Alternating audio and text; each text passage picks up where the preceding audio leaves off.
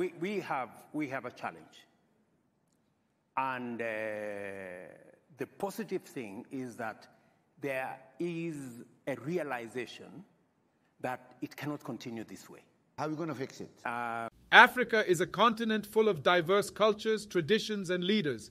But when it comes to international summits, African leaders are often lumped together and treated as a monolithic group. At the Mo Ibrahim Forum in Nairobi, Kenyan President William Ruto made a powerful statement about the way African leaders are treated at Africa and other Western countries' summits. He said, It is not intelligent for 54 African presidents to go and sit before one president from another country for a summit. Sometimes we are mistreated. We are loaded onto buses like school kids.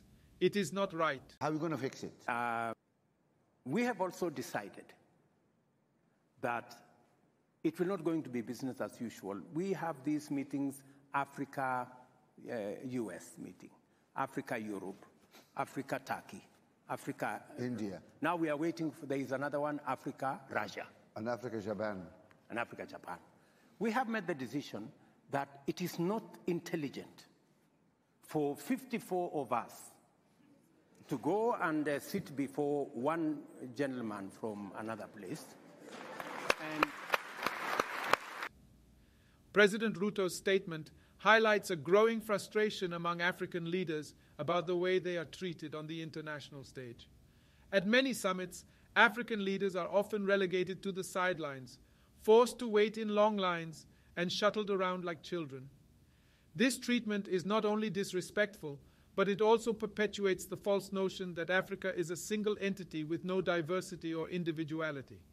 But events like the Mo Ibrahim Forum show that African leaders are ready to demand the respect they deserve. They are coming together to discuss the challenges facing their countries and forge a path forward. As African leaders continue to come together and demand respect at international summits, they are paving the way for a brighter, more equitable future for the continent.